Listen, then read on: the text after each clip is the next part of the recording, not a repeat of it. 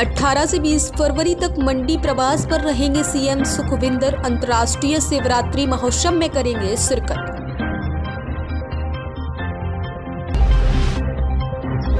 राजधानी पहुँचे राकेश टुकैत, बोले, जब तक देश में एमएसपी कानून गारंटी नहीं बनेगा, तब तक किसानों की फ़सलें ऐसे ही लुटती रहेंगी। श्री काशी विश्वनाथ धाम पहुँची राष्ट्रपति द्रौपदी मुर्मू, राज्यपाल आनंदीबेन पटेल और सीएम योगी भी रहे मौजूद।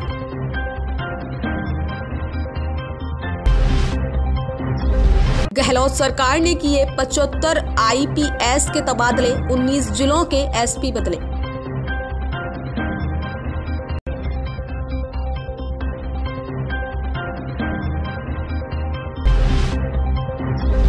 कल हरियाणा दौरे पर गृह मंत्री अमित शाह बीजेपी शक्ति बूथ की मीटिंग लेंगे।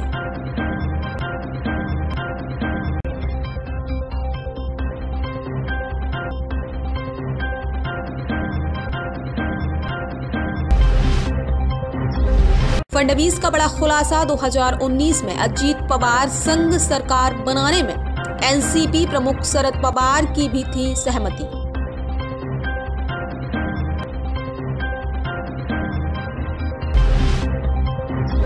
अदानी विवाद पर राज्यसभा में आखिरी दिन भी हुआ सियासी संग्राम, धनखड़ ने भी विपक्ष को सुनाई खरी खोटी।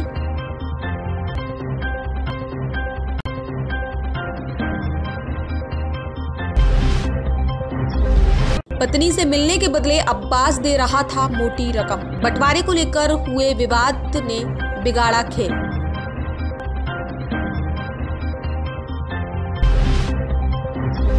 कानपुर देहात में बुलडोजर एक्शन के दौरान ज़िंदा जलकर माँ बेटी की मौत, प्रदेश में बड़ा सियासी पारा।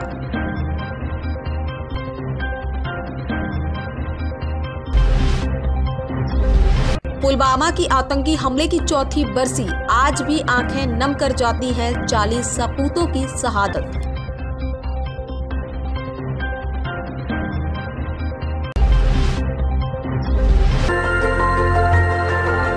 देखते रहिए डीवी भारती समाचार। नज़र हर खबर पर।